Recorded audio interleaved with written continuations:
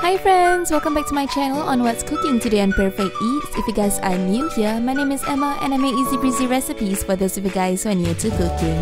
Today we're gonna make a very quick and easy tofu with minced meat. So let's get started. You're gonna need very simple ingredients to prepare this dish. Now you can choose to have either chicken, pork or beef for the ground meat. You need some minced garlic and some vegetables for some color. You start by slicing half of a yellow onion and we're gonna cut up slices of egg tofu and add in 2 tablespoons of cornstarch together with water.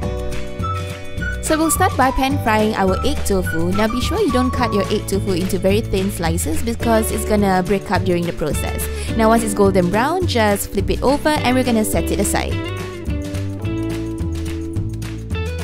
Alright, we'll start using back our same pan and add in our yellow onions. Now the reason why I'm using yellow onions is because it is much much sweeter in terms of flavor.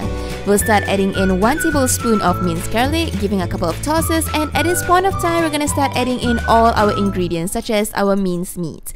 Giving it a couple of swirls before we start adding in a teaspoon of salt in there.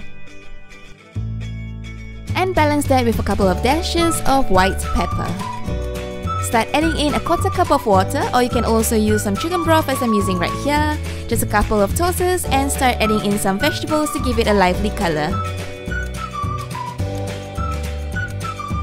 Okay, it's time to thicken the sauce so what we're going to do here is pour in batches your cornflour slurry and occasionally stirring it. And we start to see that the sauce will thicken.